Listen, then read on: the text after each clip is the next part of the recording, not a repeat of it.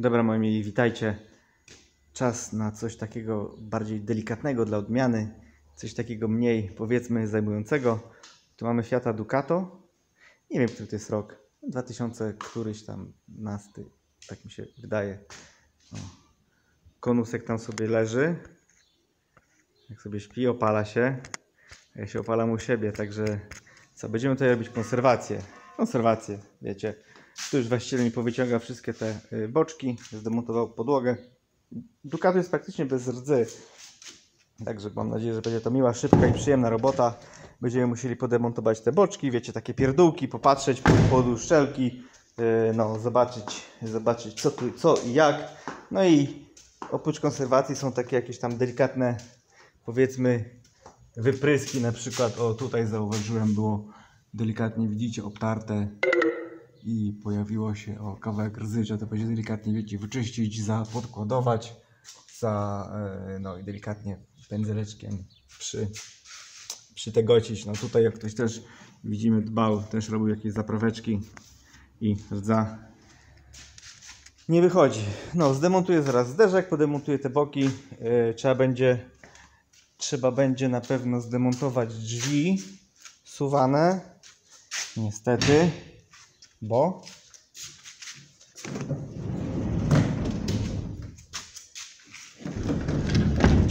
tu mamy takie, skubrze się, tu mamy jakieś dziadostwo takie, no i muszę to zdemontować. I zdemontowane, podemontowałem te boczki, te zderzaki, światła, wszystko co mogłem.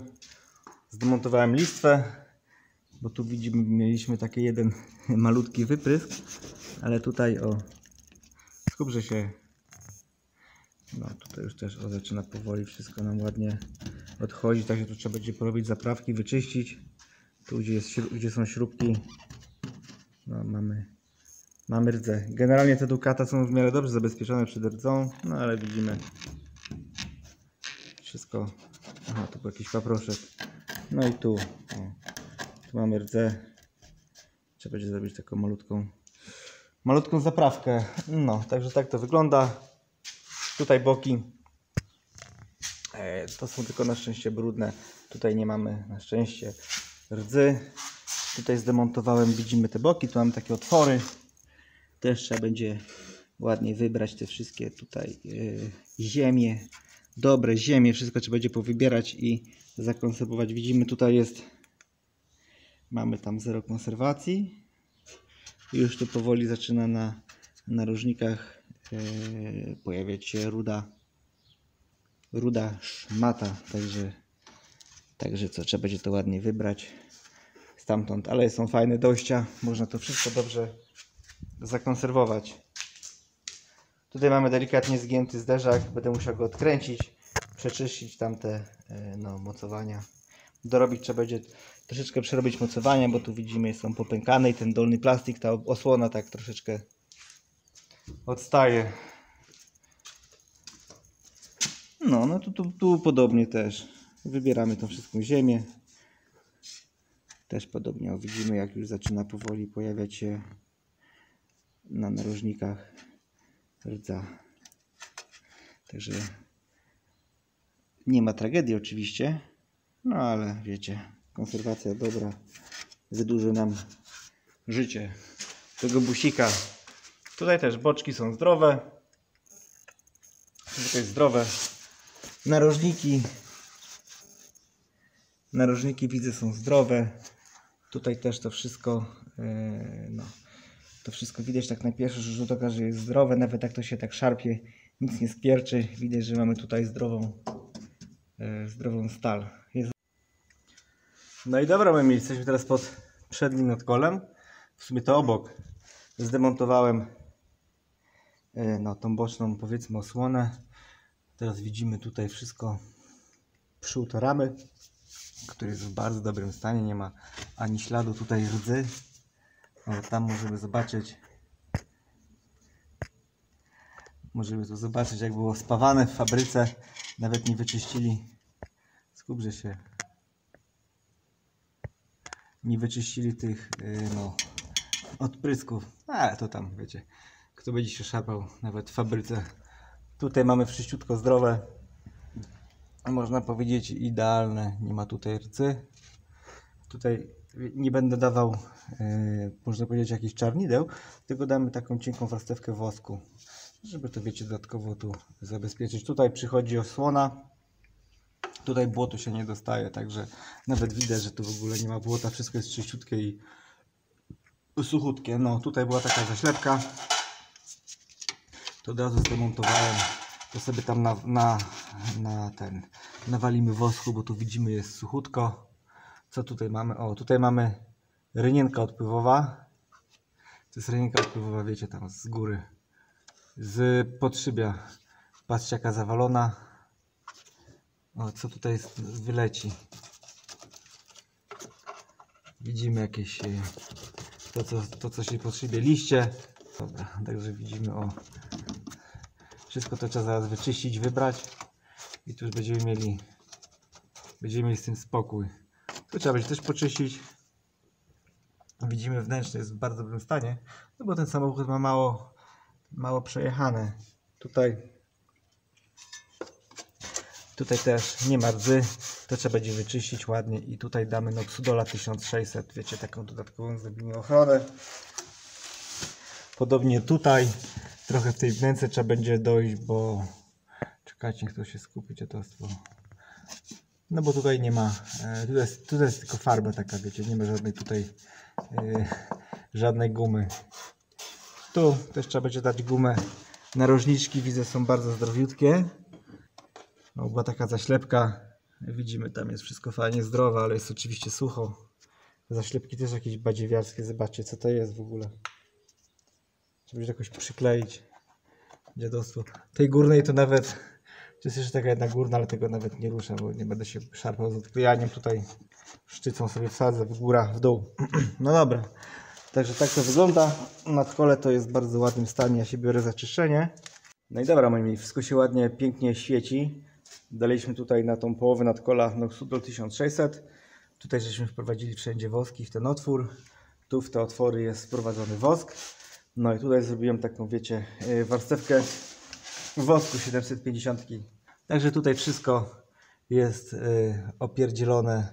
Tutaj jest dany ten wosk. On sobie wyschnie, zrobi się taka błonka i to sobie będzie. Wiecie, nie dawałem tutaj żadnych czarnideł. O, tutaj mamy jakieś yy, przewody. To wiecie, to ten wosk nic nie zrobi. A czarnideł to zaraz problemy, żeby tu coś w przyszłości ewentualnie, jakby coś ktoś kiedyś robił, nie? Żeby tutaj nic nie po... Nie popierdzielić, no. Wosk sobie będzie sechł. Także to mamy ogarnięte. I zaraz przejdziemy do no, do tylnego koła. No i dobra, teraz atakujemy tylne nadkole od strony pasażera. Co tutaj można powiedzieć? W bardzo dobrym stanie jest ta oryginalna e, fabryczna warstwa ochronna.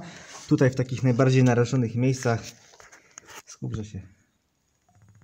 No, czyli tutaj widzimy nie ma w ogóle rdzy. Tutaj jest wszystko fabryczne, oryginalne, nic nie było kombinowane. Także jest spoko. Tu na łączeniu, yy, no, na łączeniu blachy zewnętrznej to jest łączenie, nie? Też jest wszystko, widzę, spoko.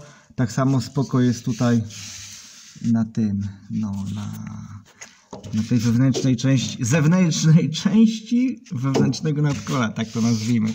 Tutaj jest spoko i tu też w ogóle jest bardzo mało yy, tego, nazwijmy to tej yy, masy y, wytłumiającej, ochronnej. Także tu trzeba będzie dać y, noxudol. Ja to jeszcze troszeczkę wyszlifuję. Odkurzaczem to wszystko przelecę, wiecie, żeby było jak najmniej pyłu. Żeby... Od razu właściwie sobie może zobaczyć, że wiecie, nie robię go w ciula. Że jest naprawdę fajna, wiecie, fajna tkole, to wystarczy tylko wyczyścić i zakonserwować. Ta strona tak samo jest czysta. Jeszcze będę musiał tylko tego yy, no, piasku wyczyścić, ale też tutaj Widzimy zdrowiutkie, nic nie ma śladów korozji. Tutaj, gdzie jest ta mocowanie na ten plastik, też wszystko jest fajne, zdrowiutkie. Narożniczki fajne, zdrowiutkie. Także spoko. Można to tylko wyczyścić i dajemy nasz dajemy nasz Noxudol, także już będziemy mieli ogarnięte dwa nadkola. Skupże się. No i dobra, następne nadkole mamy ogarnięte, pięknie się lśni. jak nowe to się jak nowe to się wszystko świeci. Wszystko jest opierdzielone, tutaj góry, tam gdzie wszędzie doszedłem, tutaj zrobiłem taką warstewkę, także także niech to sobie powoli schnie. Yy, Wydajność zrobiłem tu jedno, tam pół, czyli półtora nadkola i nie ma jednego Noxudola, także co, teraz następną rzeczą, którą zrobiłem, to troszeczkę benzyny ekstrakcyjnej i wyczyściłem tutaj narożniczki, bo to wiadomo, że zawsze, zawsze coś tam popryska, nie? A nie będę się tutaj szarpał i tego obklejał, bo to tam wystarczy, jak jest jeszcze świeżutkie, przelecieć no, szmatką i kupst. I mamy gotowe. Także dobra, to mamy ogarnięte. No to myślę, że co? Postawimy go na koła i idziemy ogarniać następną stronę, żeby już mieć koła wszystkie ogarnięte, żeby mi tutaj nie stał na żadnych klockach. No i tak, jesteśmy teraz od strony kierowcy. Tutaj też widzimy wszystko jest ładnie, pięknie. Podemontowałem te wszystkie osłony i widzimy, że rama jest w super stanie. Yy, Też zero jakiejkolwiek rdzy. Bardzo mi się to podoba. Tutaj też o te wnęki też je wyodkurzam ładniej. Tutaj też napsikamy, mm, no, napsikamy wosku. No a tutaj od tej strony yy, damy Noxudola 1600. Jako taka, wiecie, tak, jako taka warstwa powiedzmy ochronna i delikatnie zabezpieczająca. Tutaj też widzimy wnęki, mm, wnęki tego MacPersona, też wszystko jest zdrowiutkie. Tutaj jeżeli spojrzymy, spojrzymy sobie na ranciki, skupże się na ranciku. No, ranciki są piękniutkie, nie ma w ogóle, nie ma w ogóle na nim rdzy. Wewnętrznych tutaj częściach też nie ma. No nie ma rdzy, jest super. Także tylko co, jeszcze tutaj troszeczkę poczyszczę szczotą drucianą, yy, troszeczkę to potem przymyję tą benzyną yy, ekstrakcyjną i to wyodkurzam, wiecie, żeby nie było mm, kurzu ani pyłu, żeby ta konserwacja dobrze się trzymała. Tak. No i nadkole od kierowcy mamy ogarnięte. Tutaj za osłonami wszelakimi mamy napsikany nasz wosk. On tutaj ładnie nam troszeczkę przesnie. Zrobi się taka fajna e, błoneczka, która będzie to zabezpieczać. No ale to już się powtarzam. Także tu mamy po, po zabezpieczane, popsikane wszędzie, gdzie można było popsikać. Tutaj dady Noxudol 1600. Także Także to mam ogarnięte, zaraz zakładam koło i idziemy robić ostatnie nadkole. No i dobra, ostatnie nadkole nam zostało tylne do ogarnięcia. Tutaj też wszystko pięknie. Skupże się. Skupże się. No. Dziadu. Dobra, skupił się. Widzimy też wszystko czyściutko. Tu oryginalna nawalo, nawalona gruba fabryczna mastyka. Wszystko jest ładne, czyściutkie. Tutaj też, zobaczcie, zero. Skuprzy się. Widzimy zero rdzy. Wszystko fajne tutaj, zdrowiutkie. W tych narożnikach ani śladu, ani śladu rdzy. Góra też jest zdrowa. Czyścimy tylko to i tutaj przyjdzie terapia nok- noksudolowa i będzie, będzie finito. Ostatnie nadkole mamy ogarnięte. Dość grubo jest dane y, tego Noxudola. Widzimy, aż taka się zrobiła. Można powiedzieć taki gęsty, gęsty, tako grubo, grubo taki ziarnisty baran. To sobie teraz będzie schło parę dni, ale wiecie, to wysnie. Poszło nam na, w sumie to na 3 nadkola, bo tamte były połówki. Poszły 2 litry tego szuwaksu. Także nie wiem, dużo, mało. No to tak wychodzi, wiecie, też nie ma co dawać malutko, no bo to komar wleci i przebije tą naszą barierę. Także tak to wygląda. Ja zakładam koła i przechodzimy do dalszych czynności. No dobra, teraz sobie przejdziemy do czynności tak zwanych rdzawych. Tutaj frezikiem wyszlifowałem sobie te, co wcześniej wam w skubrze się no, co że wysz- wyszlifowałem te takie rdzawe, rdzawe plamki, gdzie było, gdzie były takie delikatny nalot tutaj, te jeszcze takie tam małe pierdołki były, to zaraz zapodkładujemy mm, Master Bondem. Tylko jeszcze delikatnie to wiecie, przetrę trochę, żeby to takie nie było brudne i obskurne. Zdemontowałem sobie też te plastiki. Tutaj też na szczęście widzimy wszystko jest bardzo ładne, yy, piękne. Tutaj tylko, gdzie to było? O, tu musiałem kawałek wyszlifować, bo było takie troszeczkę yy, rdzawe. Tutaj mamy nasze łączenie tych wszystkich blach. Tu delikatnie już zaczyna pojawiać się o korozja. No i tu zaraz to wszystko wyodkurzam i, i zobaczymy. O tutaj delikatnie jest takie takie małe rdzawe pierdołeczki. Od razu wyodkurzamy tutaj. Zobaczymy pod te dywaniki, ale widzę, że pod, pod dywanikami jest e, pod dywanikami jest spoko. Tutaj tylko muszę wyczyścić, bo mamy trochę tego piachu niepotrzebnego. Widzimy ile jakiś tutaj dziadostwa jest. Także to wszystko to wszystko musimy poczyścić i taka cienka blaszka tu idzie? Aha, tu jest od ramy. Patrzę sobie jak to jest pobudowane. No ale widać solidne. Na pewno lepiej to jest zrobione niż te pierwsze Ducato. No ale zobaczymy jak silniki będą wytrzymywać. Chociaż to Ducato wiecie ma 120 tysięcy najechane, także nie jest to jeszcze jakiś wielki przebieg. No. No i dobra, frezikiem tutaj skubrze się frezikiem tutaj yy, wybrałem ile mogłem powybierałem powy, wy, no, wyczyściłem te wszystkie takie ogniska rdzy tutaj delikatnie. I teraz to wszystko ładnie za ten zamalujemy, zrobimy taką zaprawkę z epoksydu, ale zanim to zrobię to jeszcze przejdziemy sobie do strony kierowcy i tam też poczyścimy. Tak moi mili, strona kierowca okazała się bardzo łaskawa dla mnie. Wszystko jest tutaj no, poczyszczone, posk poskrobałem, to tak nie ma w ogóle ani ślada tutaj y, rdzy.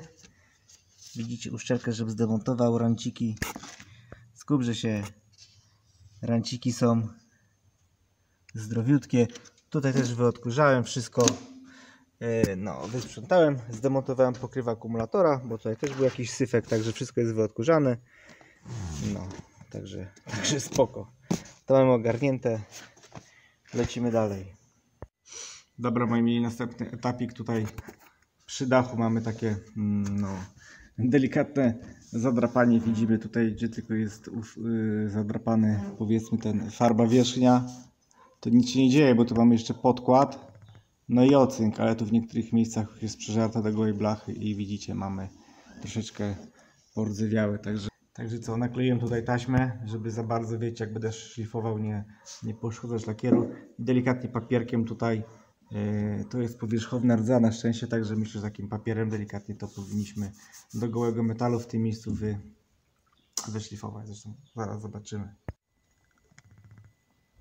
No dobra, udało się to ładnie wyszlifować. Tutaj, gdzie jest jeszcze farba, to tylko delikatnie, tak wiecie, zmatowałem, żeby nie przeszlifować przez ocynk. Także dobra, to mam ogarnięte. Lecimy dalej. O, tutaj widzę, mam już delikatne, delikatne coś. Tu trzeba będzie wyszlifować. Co mamy tutaj? No ale tu już jest mastyka na dole. Nie wiem, co to za jakieś dziwne tutaj takie wynalazki. Zaraz to wyczyszczę, zobaczymy, czy to jest rdza, czy to jest jakieś brudne. Wydaje się, że to jest brudne. No ale tu jest troszeczkę takie pod... No, tu jest na pewno delikatne przerdzewiałe. No i dalej patrzę, że ranczyk jest zdrowy. Rynienki są widzę w bardzo dobrym stanie. Tutaj tylko jest taka mała ała, tak nie wiem, dziwne coś tutaj się stało. Tak widzicie sam narożnik, narożnik dachu jest taki popierdzielony jakby nie mam pojęcia od czego to jest zrobione. Tu już nam wychodzi rdza. Czyli trzeba by tutaj wyszlifować. Tu trzeba będzie wyszlifować delikatnie i zrobimy taką zapraweczkę. No nic tutaj nie poradzę. Potem wlezę, wlezę na dach i trzeba będzie na dachu zobaczyć, czy nie ma żadnych tutaj, wiecie, e, akcji. No, no dobra. O, tutaj mamy jeszcze taką rdzawkę. Takie widzicie pierdołki. Ale nie, trzeba to usunąć. Dobra, mamy tutaj jeszcze zrobiłem taką powiedzmy przysługę. Tutaj górna część tego y, progu była taka troszeczkę poharatana, wiecie, od wchodzenia, żebym to wyszlifował. Tu jeszcze były takie syf jakieś, jak to się mówi, gładzie jakieś takie zaschnięte też, to żebym wszystko tu poszlifował, wyczyściłem i daliśmy, y, daliśmy tutaj epoksyd. Później to pomalujemy jakimś kawałkiem poliuretanu. Teraz przejdziemy sobie do konserwacji progów. Zaraz idziemy oglądać nasze progi. Tutaj już właściciel mi podemontował te blachy boczne. Widzimy, że jest bardzo fajny dostęp do progów. Tam już mamy, tam już mamy nasze progi. Skupże się. Skupże się. No, skupże się. I widzimy, pomimo tego, że Ducato jest w ocynku, nie wiadomo skąd, zobaczcie, tu już powoli się rdza. Rdza powoli się już tutaj pokazuje na naszych, na naszych progach. Trzeba tu będzie dobrze łapę tutaj wsadzę. Trzeba będzie tu ładnie trochę poczyścić. O, widzimy. Tam też troszeczkę już się bierze rdza, także nie ma co wierzyć w te super ocynkowane pojazdy. Zobaczmy tutaj. Mm, tam w rogu. Czekajcie. O, widzicie, tam w rogu też nie jest ciekawy. Trzeba to będzie dobrze za... Nie ma za bardzo podejścia, żeby tam... Żeby, wiecie, tam wejść. No ale to trzeba będzie... Akurat jest fajne podejście na to, żeby odkurzaczem tak wywrać ten cały syf. No, to trzeba będzie, wiecie, dobrze, dobrze pozalewać woskiem. Także fabryczne ocynki też nie ma im za bardzo co wierzyć, bo tu od nowości nie było. O, widzimy? Widzimy, jakie tam jest delikatna taka no, rdzawa powierzchnia. To wszystko za rok, dwa to już będzie dziura. Jeszcze włożyłem tu rękę. Powinienem chyba jakieś dziecko zatrudnić tutaj do takich rzeczy, do takich robót z jakimiś małymi rączkami, bo tutaj ledwo, ledwo moje potężne przedramię się mieści w te otwory. No ale jakoś jest ich dużo, jakoś daję radę. Tutaj widzimy, czyszczę, no doczyszczam tą po prostu yy, rdzę i widzimy, że nie wygląda to za ciekawie. Widzimy jak ta farba łatwo się łuszczy.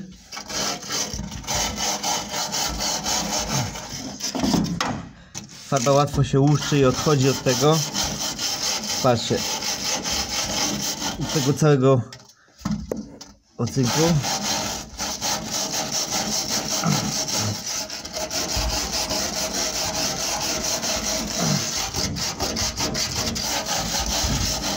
Dobrze, że jest tutaj, dobrze, że jest dostęp przez środek takie, bo jakby nie było czegoś takiego, to ciężko by to było. No, co mamy tutaj? To to wygląda tak na pierwszy, na pierwszy rzut oka wygląda na fabryczny ocynk.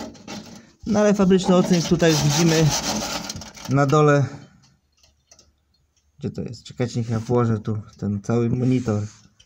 Gdzie? Aha, z tej strony jest e, ten. O! Teraz widać dobrze. O. Widzimy, że fabryczny odcinek tutaj już pokrywa się takim delikatnym rdzawym nalotem. Tylko trzeba będzie to ładnie wyczyścić i tutaj trzeba będzie zalać to konkretną ilością wosku, bo tu nawet niczym tak za bardzo nie dojdę, żeby to... Oczywiście można to wszystko wypiaskować, ale weź się potem tego piasku pozbądź tych wszystkich otworów. Bo tu jest, e, tutaj mamy... To jest nasza jakby podwójna ściana, nie?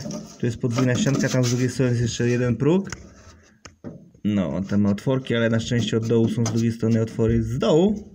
Czyli sobie otworzymy i zakonserwujemy. Także jak widzimy, nowe samochodziki też nie są e, super zabezpieczone antykorozyjnie. Mamy rdze.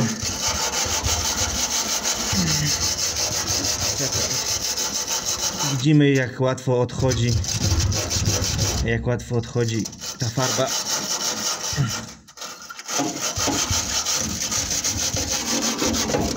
No. A proszę Państwa, coś takiego za dwa lata to już mamy dziurę na wylot.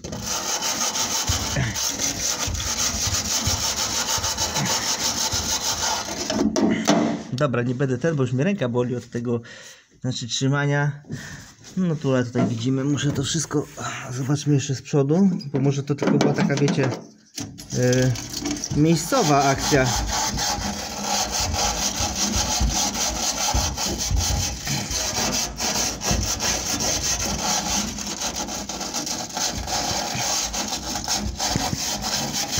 Nie, to cały, na całej długości tak delikatnie ta farba odchodzi.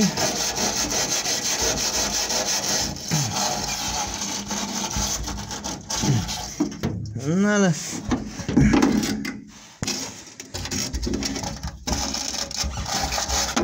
Koreczek już go wyciągnę, bo będzie mi to...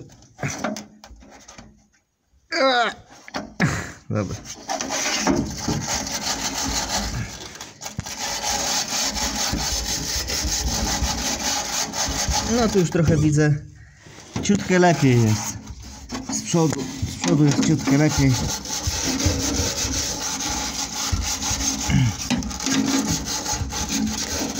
No ale też widzimy w niektórych miejscach o, farba odchodzi.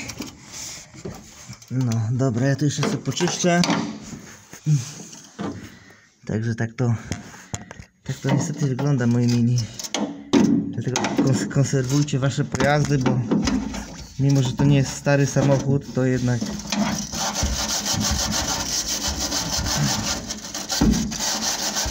pamiętajcie, że teraz na wszystkim oszczędzają. Jedynie na czym nie oszczędzają to na elektronice, która jest tania i pakują ją do, tego, do tych waszych wehikułów. No, widzicie, nawet ukryta jest rdza pod farbą. Niby nie widać, a jednak jest. O. I- i- No. Dobra. Ja tu jeszcze powalczę z tym trochę i będzie to będzie konserwować. Wykonserwujemy sobie najpierw te, te, te wszystkie progi, a potem sobie będziemy od spodu no, robić, tak żeby wiecie, to było jakoś za porządkiem. No, na, następna plaga tych wszystkich nowoczesnych wehikułów. Zobaczcie jaka mikro mikro rynienka odpływowa. Oczywiście zapchana. I co ona ma? Co, co ona ma odebrać? Tak delikatnie, żeby tam nie popierdzielić farby. No, to ona jak się wyjedzie z salonu, to się zapycha. Ja wystarczy to wybrać. Tutaj do takich rzeczy o, rurka. Tu jest fajny dostęp. Rurka taka do kabli. Końcówkę tak wkładam i to najlepiej, najlepiej takie rzeczy wybiera, także widzicie. Widzicie jak to wszystko jest, wszystko jest porobione. Jedno prowadzi do drugiego. Zaraz wybiorę syf z tej rynienki, zobaczymy czy ona jest drożna.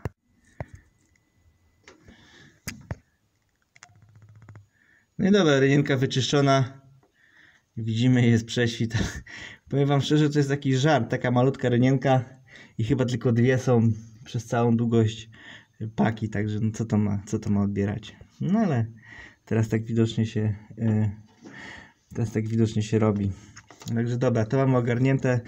Zaraz jeszcze poszukam, może tam jeszcze, jakaś jeszcze ukryta rynienka. No to wiecie, trzeba z drugiej strony patrzeć, bo są takie wy, wy, wybrzuszenia z drugiej strony, to najlepiej, najlepiej sprawdzić. To jest bardzo ważny moment. Rynienki muszą być drożne. Dobra, ja jeszcze tutaj poczyszczę, wyodkurzam resztę tego dziadostwa i bierzemy się za konwersację. No i dobra, mamy tutaj Noxudolki 750. Zaraz tutaj aplikujemy, aplikujemy baterię i będziemy działać. No i dobra, mieli, pokonserwowaliśmy sobie wszystkie tutaj y, powiedzmy poprzeczne, podłużne beleczki, progi. Tutaj jest bardzo dużo otworów, jak widzicie. Jest mnóstwo otworów, także praktycznie każdym takim nawet najtańszym pistoletem do y, konserwacji będziecie w stanie sobie zakonserwować. Tutaj wszędzie można, y, wszędzie można dojść. W ramie też są duże otwory. Co jakiś czas są też takie zaślepki. Ja nie wszystkie żem otwierał, no bo jak wiecie, mam długą sztycę, to sobie tą sztycą ładnie wszystko zakonserwuję za jednym zamachem. Tutaj pomiędzy tłumnikiem Tłumik tak na razie zdemontowałem, ale tylko tak wisi, wisi sobie, bo mam problem z rozszczepieniem tych dwóch rur, także nie będę się szarpał. Go sobie na razie tak podwiesiłem, zdemontowałem tą osłonę, no i pod osłonę daliśmy wosk. Nie dałem wam tego czarnidła, dałem zwykły, yy, zwykły wosk. Tak samo yy, tam dalej, tam tu, tam w środek mamy fajne otworki, wszędzie, wszędzie tutaj można yy, wosku po, ponalewać. O, tutaj są wewnętrzne koreczki tych wewnętrznych progów.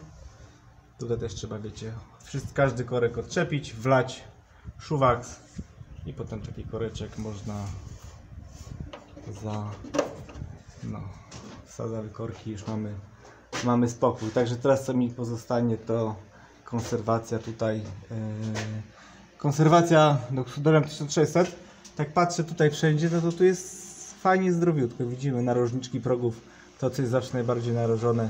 Wszystko jest tutaj yy, wszystko jest tutaj zdrowe. Także zastanawiam się w ogóle, czy jest sens dawanie tutaj yy, na to Noxudola. Tu jest gruba, idealna konserwacja. No ale zobaczymy. Na pewno.